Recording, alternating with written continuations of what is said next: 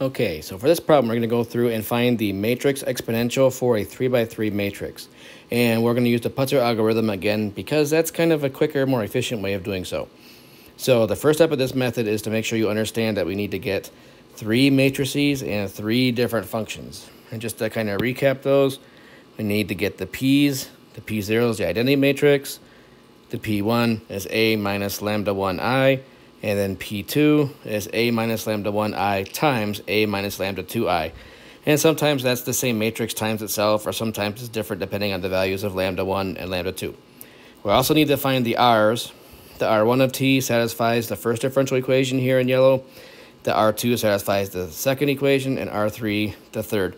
And it's always a really good idea to find the p matrices first because if you ever get lucky and have one of them equal to zero, it can save you some work in finding the r's because the r's are never going to be equal to zero. All right, so to solve this problem, let's go through first and find our eigenvalues. And as always, we go in and we look at taking the determinant of a minus lambda i and setting that equal to zero and solving for the eigenvalues lambda.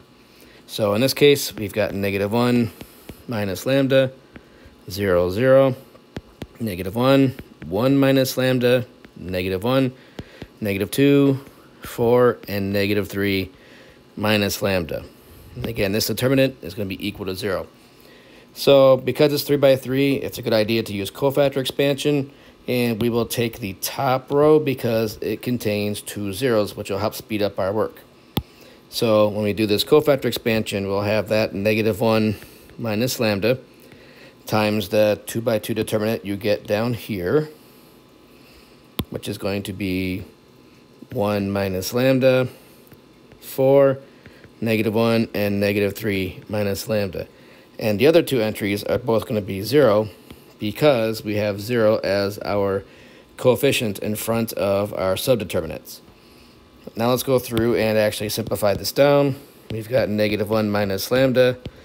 And then if we take the 2 by 2 determinant, that's 1 minus lambda times negative 3 minus lambda plus a 4 is equal to 0.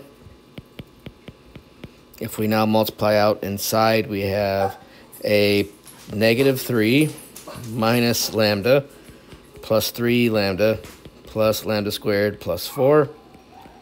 And then that's negative 1 minus lambda. Inside the square brackets, we've got lambda squared and then we're going to have plus 2 lambda plus 1 equals 0.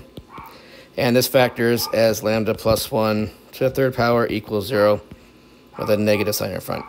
So lambda 1 and lambda 2 and lambda 3 are all equal to negative 1.